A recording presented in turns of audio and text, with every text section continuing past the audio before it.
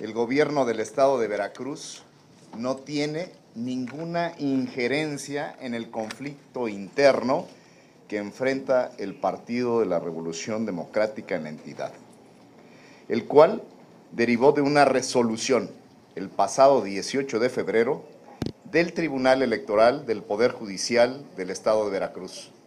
que es un órgano jurisdiccional independiente del Poder Ejecutivo.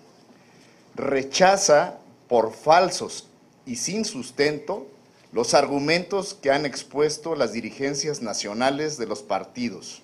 de la Revolución Democrática y Acción Nacional sobre un supuesto interés por entorpecer la constitución de la alianza política entre estos institutos políticos.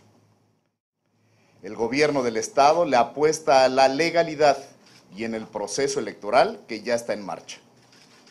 Las instituciones cumplirán irrestrictamente con lo que la ley marca y con su responsabilidad política y legal de garantizar un proceso en paz y tranquilidad para que los ciudadanos expresen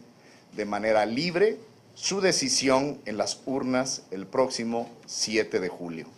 Para el gobierno del Estado, este proceso significa una oportunidad de avanzar en la consolidación de la democracia y es el espacio ideal para que todos los ciudadanos participen,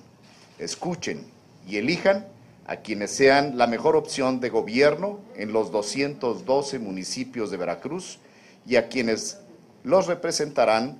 en el Congreso del Estado.